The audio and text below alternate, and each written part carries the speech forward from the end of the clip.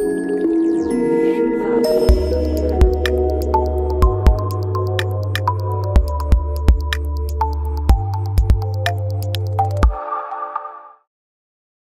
everyone. This is Shyam Prasad, and uh, I'm here to discuss the security aspects of the Linux SMB client file system, uh, which mainly includes the access control and the ID mapping. So let's get right to it. A, a brief introduction about myself. I'm currently working uh, as a part of the uh, the Azure Files uh, team in the uh, in Microsoft, and uh, I've also been an active contributor to the Linux SMB kernel client for the last couple of years. A brief agenda of uh, what we're going to cover in this talk. First part covers authentication, ID mapping, and the second part covers access control and uh, the future work pending uh, in, in the SMB client. Okay, so let's get to it. Uh, some basic SMB file system concepts before we uh, dive into the uh, deep dive into the, each of these concept, concepts. Uh, when a user shares a file or a tree of files uh, over the network, uh, the following concepts apply. The first one is uh, the file service or the server who is sharing the files. Uh, this one um, examples include uh, the Samba server, the Windows server, and uh, the Azure file service. So Azure file service is is not just a, a single uh, machine, but a, a, a cluster service uh, which is set up on the cloud, the Azure cloud, and uh, also offers uh, sharing the files over the internet. And uh, you can access this using the SMB protocol from uh, any machine on the internet and then you have the client. Client is the machine where uh, uh, from where you access the uh, the files shared on the server. And uh, some examples include uh, the linux smb client uh, which we're going to cover mainly in this talk. And then we also have the windows client the mac os client and there, there are several other clients that that can be used to access the file shares the concept of ID mapping comes in uh, when you are doing a network file share uh, sharing. And uh, the reason why this is important is that uh, the user identity, the identity of the user who is uh, sharing the file share on the server may be different, completely different from the user who's accessing it on the client especially if uh, the server and uh, client are not of the uh, not of the same type. Uh, for example, the server may be a Windows server and the client may be a Linux client. Uh, so it is up to the client to perform the mapping between the client's identity to the server's identity. And this is called ID mapping. Authentication and authorization are concepts that apply to pretty much any file system, any uh, any data system, uh, wherein you have users who are accessing the data, uh, whether a user can prove who they claim to be. Uh, this is generally done with the use of some credentials. And then you have, once the user is authenticated, uh, whether uh, the user is allowed to access the files in that, that particular way. So this is defined uh, uh, with the use of permissions, and uh, the, this is this is what authorization is all about. Okay, let's move on to the first topic, which is authentication. So how does the SMB Linux client uh, manage authentication? The SMB Linux client supports two ways of, authentic, uh, of authentication using the NTLM and the Kerberos protocols the kernel mainly makes use of uh, the Linux key service for storing the credentials uh, for, a, for a user. And uh, the way it uses uh, differs between NTLM and Kerberos. So for NTLM, uh, there is a user space utility called cifscreds, which allows updating the credentials of a user uh, into the, the, Linux key service. And these credentials are used by CIFS.ko. I'll, I'll go into how it is done in, in, a, in a while. And then you have a, a Kerberos authentication, wherein uh, uh, the Linux SMB client expects that uh, the initial authentication of the user with the with the Kerberos authentication server is already done by the time the file share is uh, accessed, and uh, we have an intermediate uh, uh, credential that is uh, that is collected from the Kerberos server by the time you access the file share. And I'll go also go into detail of how this is done. Okay, so when uh, the uh, Linux key service doesn't uh, find uh, the credentials that it that uh, uh, is requested from it, it can upcall into the user space, and this is where the user space utilities of the Linux SMB client come into picture. And among the user space utility, there is a special mention to Winbind or Triple HD. So these are uh, external software packages that developed by other uh, open source communities, which uh, which have a lot of features, but uh, we mainly uh, use two features uh, of it with respect to authentication and for ID mapping. I'll, I'll come to each of them in a while and how how that is done. Okay, so I mentioned that uh, the NTLM uh, authentication is done using a Linux key service. So how does it happen? The user uh, uses the, his or her credentials using the mount utility mount.cifs in order to perform the mount. Uh, cifs.ko uh, uses those credentials to uh, authenticate with the file server. There is also another mode called multi-user mount, wherein uh, you can have other users that are accessing the same file share uh, within the same client and uh, on the same mount point. To allow access to these file share, the credentials can be stored within the Linux key service uh, using the cifscreds. And then when uh, the actual file share is uh, uh, accessed from the client, cifs.ko will look up these credentials from the Linux key service and then authenticate with the server.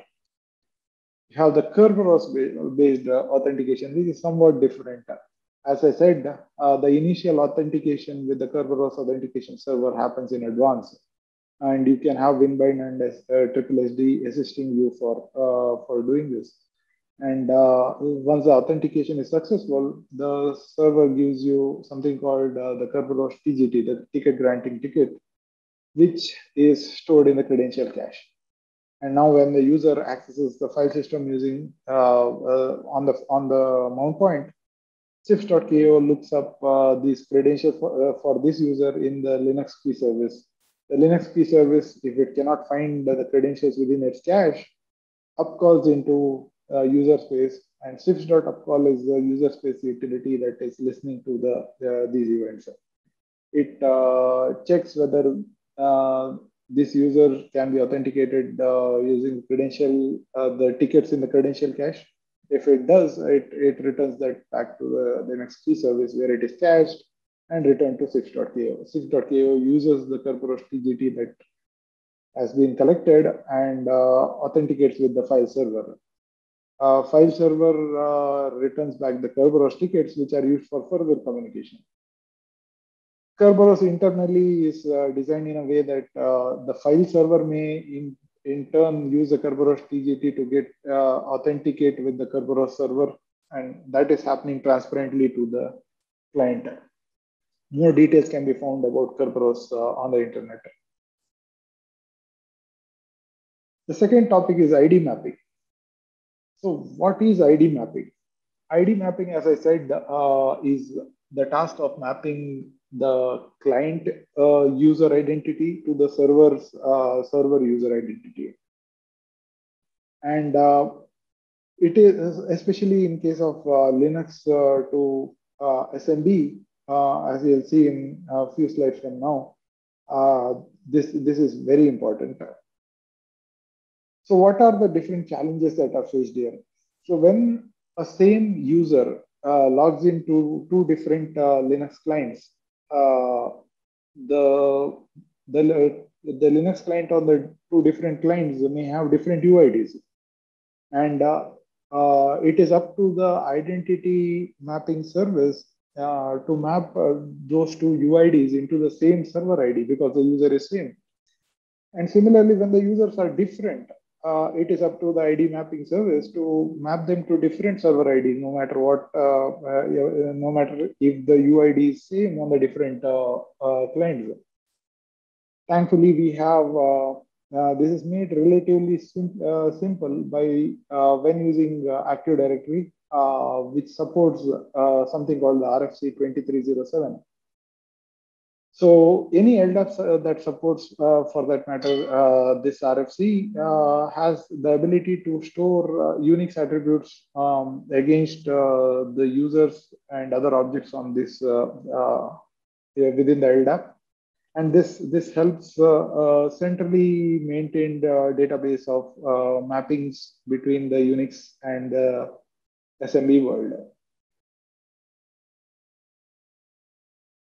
So how does uh, the Linux SMB client manage ID mapping?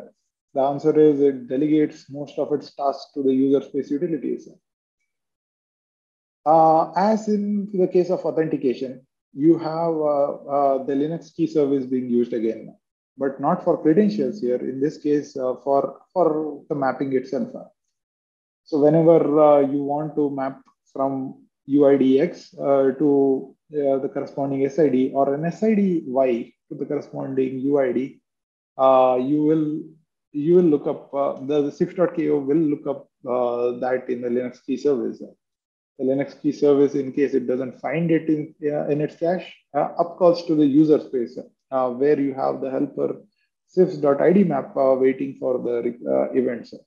And in case uh, uh, in case it is integrated uh, with Winbind or Triple SD, which which give you good options to uh, either query, perform the LDAP queries to the LDAP server or map the various identities themselves uh, and uh, return back, back the mapping. As I said, RFC 2307 allows a centrally maintained database of mappings and uh, is supported both by the Windows uh, domain controllers and Samba uh, domain controllers. It's also supported both by Winbind and TripleSD for uh, uh, performing the LDAP queries. And uh, hence you have the SID to UID or GID mapping.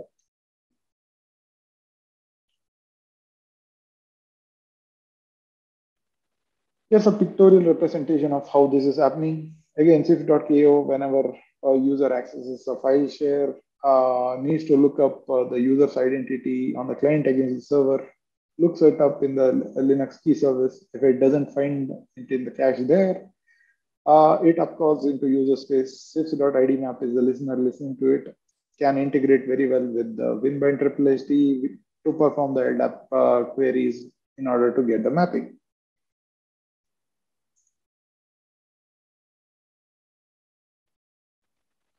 Okay, that completes our part uh, one of the uh, presentation. Let's look at uh, the access control uh, and the future work in the second part.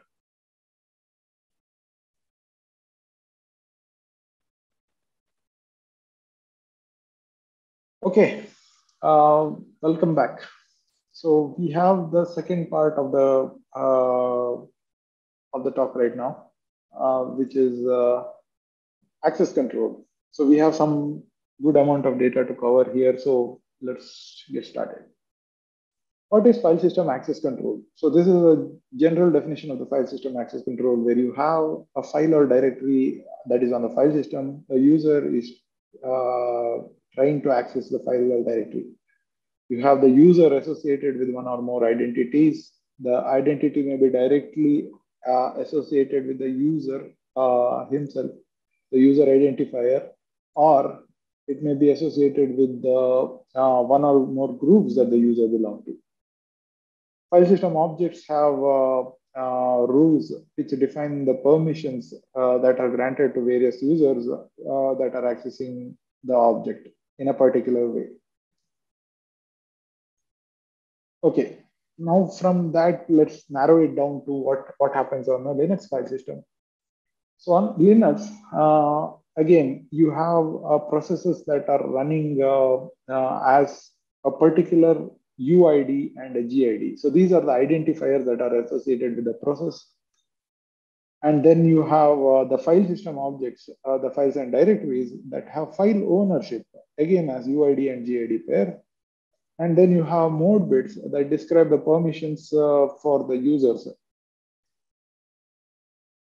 Now, mode bits uh, broadly uh, define uh, three bits, uh, read, write, and execute. Of course, there are few other special bits, uh, but uh, mainly these, these three bits. And so these define the respective read, write, and execute permissions for different types of users. So the types of user include uh, the user, the group, and others. User meaning uh, the, the file owner, group being uh, the uh, users in the file ownership group, GID, and others being anyone else. So for example, if it is RWX, RX, R, it means read, read write, execute access for the owner uh, user read and execute access for the users belonging to the owner group and read to any, anyone else. So what you can notice here quite quickly is that uh, the bucket of uh, uh, identities that you can have uh, these rules for is uh, very broad and uh, only three sets of users and nothing more specific than that.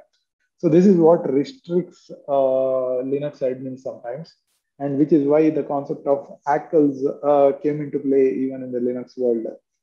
So ACLs are access control lists which define rules uh, that give you uh, more granular access control. So in case of Linux, you have the POSIX ACLs which uh, which give you certain uh, more granular access control, but there is uh, more to this, which you'll see in the coming slide. So that was access control in the Linux uh, world. Now, how, what is access control in the SMB world? So SMB protocol historically was designed for uh, designed by IBM for the DOS file system. Microsoft then uh, took over uh, the develop the, changes in, in the protocol and uh, it was based mainly of the Windows NTFS file system which is why if you go through the protocol specs, you'll see that uh, a lot of uh, concepts are borrowed from the Windows NTFS world. So one of those concepts is the NT-security descriptor, uh, which is mainly the metadata associated with the file or a directory. So you have the ownership information and the permissions which are defined for a file or directory, and these are stored in the security descriptors. The ownership informations are stored as security identifiers. Uh, notice the difference uh, between the Linux world and here. So Linux world, you had a UID GID pair being stored as the ownership of a file. Here you have the uh, user and uh, group uh, identifier stored as security identifiers. And then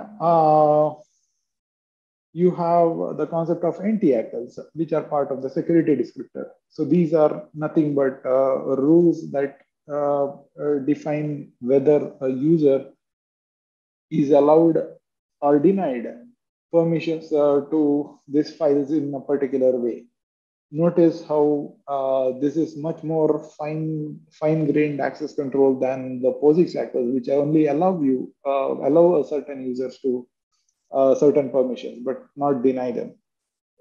So another uh, uh, another uh, another access control that feature that uh, NT-ACLs bring into play is the concept of inheritance.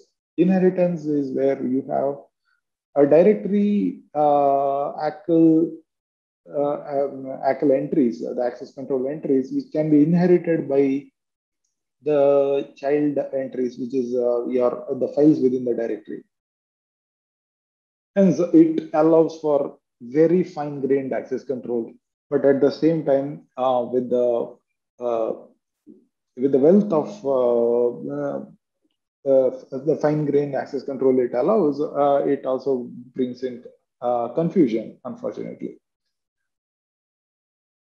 And then you have the security identifier, uh, SID, that is associated with the, every SMB session. SMB session is uh, the, the client and uh, the server uh, talking SMB to each other. And uh, this is managed on top of a TCP connection. I mean, TCP or it can be uh, SMB direct as well. However, that doesn't matter. So you have the SMB session set up on top of it. And uh, the SMB session is associated with an identifier itself, the session ID. And uh, this session ID has a one-to-one mapping with the, uh, one user, which is the SID of the user on the server. And uh, that is uh, that is a user to which any client user will have to be authenticated as. Okay, so now a bit more about the SMB sessions. Uh, the Linux SMB sessions, uh, the, the, Linux SMB client uh, maps uh, the UID GID on the on Linux uh, onto the SID on uh, SID on on the SMB protocol, which is the SMB associated with the SMB session. So you can have multiple processes that map to the same SMB session at the same time. You can have uh, multiple users that are using the same uh, SMB mount pointer. And uh, so you, as you as you've seen in the previous slide, one SMB session corresponds to only one server user. So what you uh, have to do when uh, multiple users are accessing the same mount point is that you have to create multiple SMB sessions. And each SMB session setup involves authentication of that particular user. So this comes with a special mount option called multi-user in case of Linux. You can look up uh, more details about this on the Linux man page. Essentially, it allows uh, multiple users to use uh, the same file share on the same uh, mount point. Okay,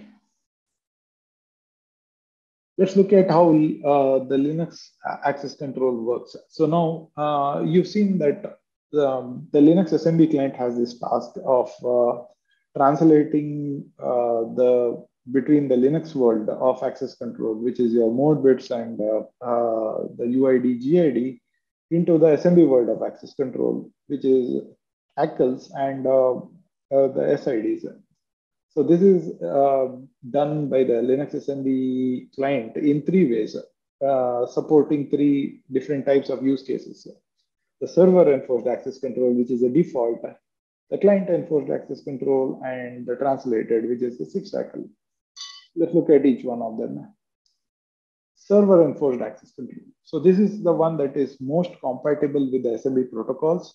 Uh, the reason being that uh, the access control is done using the NT security descriptors, either in its native form, uh, which the Windows servers can do because they it, it understands the NT security descriptors, or if there is a server which doesn't uh, doesn't uh, deal with the NT security descriptors for access control, like for example, the Samba server, which is a, a Linux-based server, it still needs to uh, have a way to convert and map uh, the NT security descriptors into its own native form.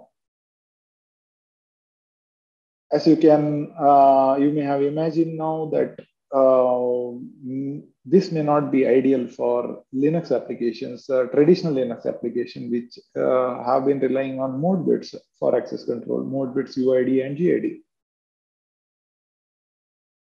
This is, uh, however, ideal for uh, your the clients which which access uh, using the security descriptor, like like the Windows clients do.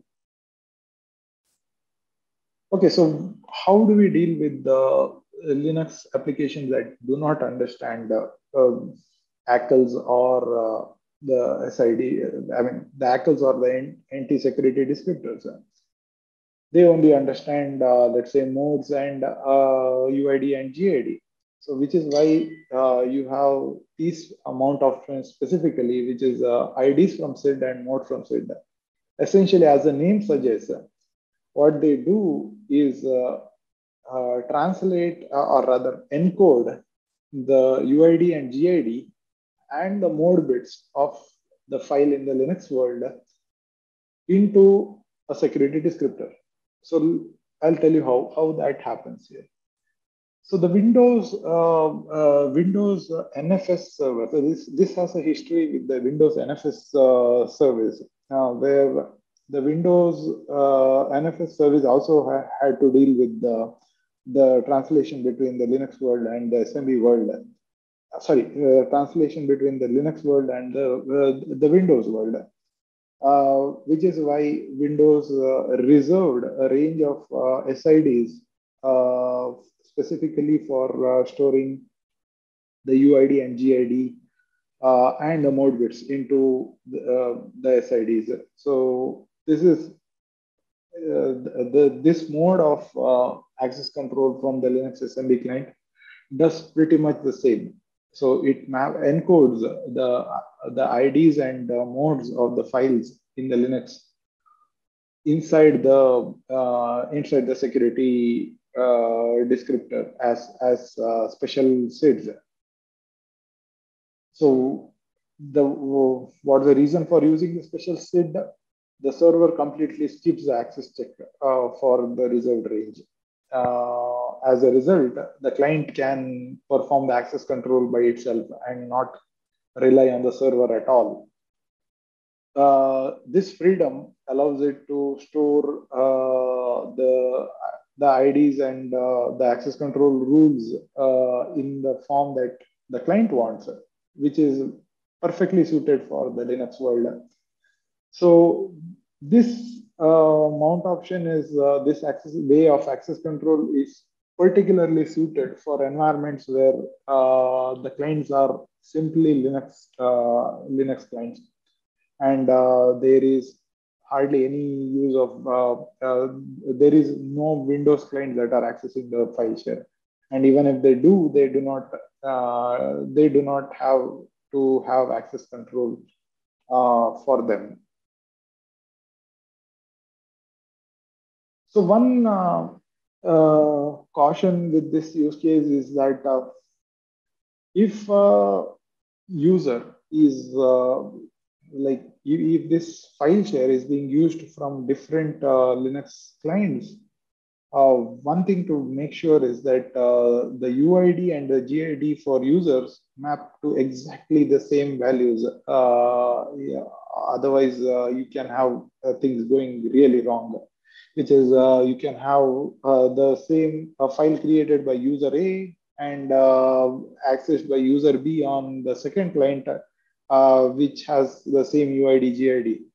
Thankfully, uh, this is something that we spoke about in our previous slide. ID mapping service uh, is, is uh, responsible for exactly this, which is why uh, using Winbind can help here, wherein you Winbind will ensure that the ID mapping happens properly and uh, you you have the same UID GID for all the users.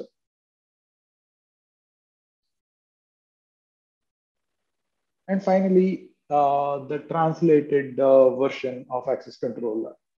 So what is this? Um, as you've seen, uh, Linux applications use uh, uh, traditionally use the Linux mode bits and UID GID the Windows uh, applications use the SIDs and uh, uh, the ACLs.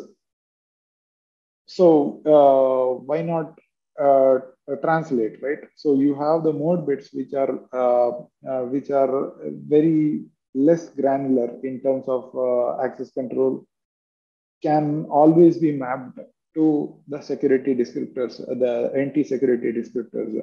So what this what cifsacl does is exactly that. So any files created with certain mode bits uh, get translated to the corresponding security descriptor. Although note that uh, if uh, a file is created uh, on Windows clients with an act, with the, some ACL, it may not always be possible to translate it back to the Linux mode bits, which is why uh, uh, will try to map it as uh, closely as possible, uh, but it may not be possible for, uh, uh, for the Linux SMB client to do that exactly. So, however, one thing to note is that access control is mainly driven by the server uh, even if the client uh, uh, shows you certain access control, the server can restrict even more. So, which is why the this still works. wherein you have, so this case essentially covers uh, use cases where uh, you have both Windows clients and the Linux clients that are accessing the same file share.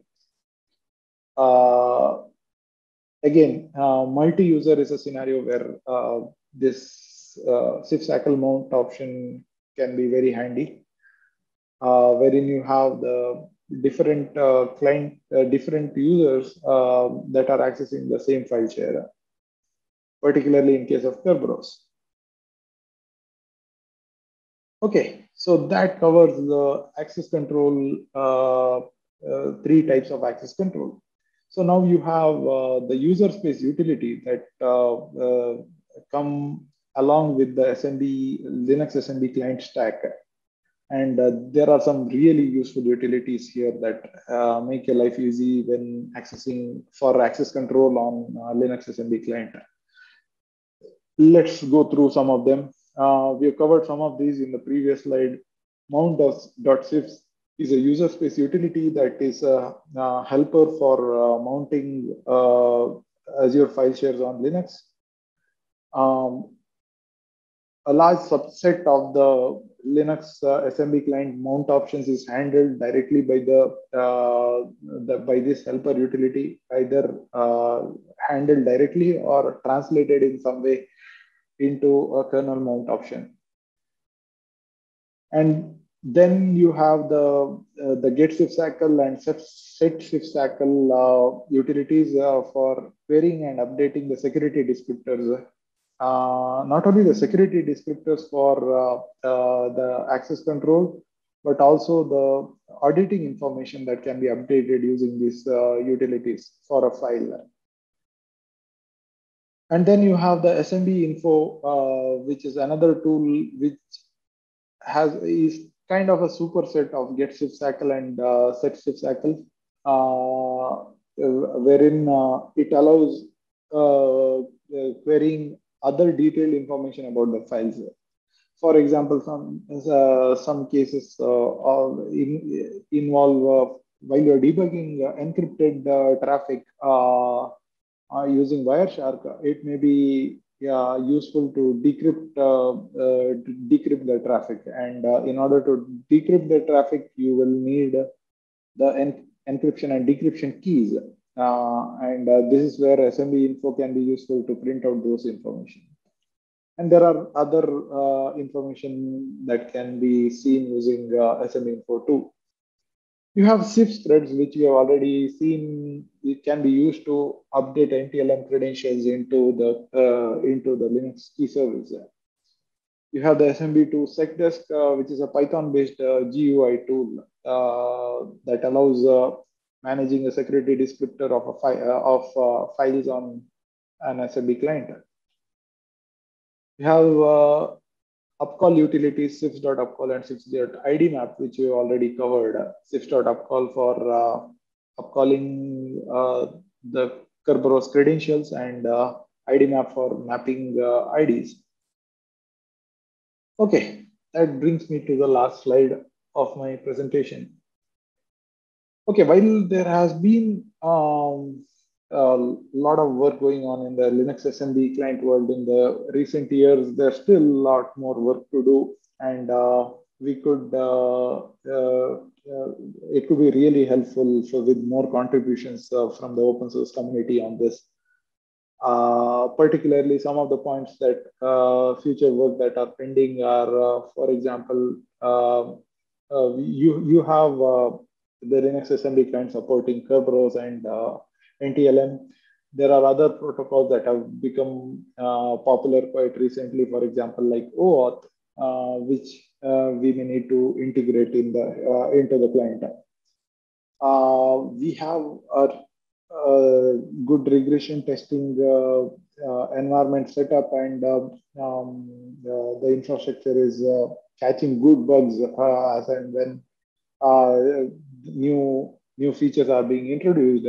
However, some of the test cases that may be needed to test out scenarios which are specific to uh, SMB and not uh, uh, all Linux file systems uh, may be missing here. Uh, so um, again, any contribution in in writing new test cases will be quite helpful in making the Linux SMB client more robust.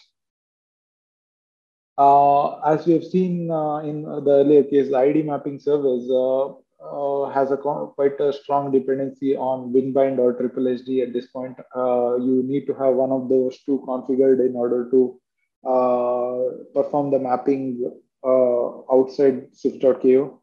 And uh, uh, this is something that we've been wanting to have a fallback mechanism for, wherein the user is not, the admin is not set up WinBind or Triple can still uh, function.